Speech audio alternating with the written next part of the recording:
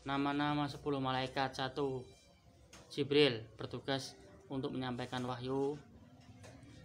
Dua uh, Mikael menyampaikan rezeki dan hujan, menurunkan hujan. Tiga Israfil meniup sangkakala tanda akhir kiamat datang. Uh, empat Israel pencabut nyawa. Lima Mungkar dan Nagir menanyai di alam kubur kepada orang yang men, uh, baru saja meninggal uh, tujuh ya tujuh Rokib pencatat amal baik Atid pencatat amal buruk. Rokib Atid selalu mendampingi kita menjadi saksi amal-amal kita ya. Terus Ridwan sebagai penjaga surga Malik sebagai penjaga neraka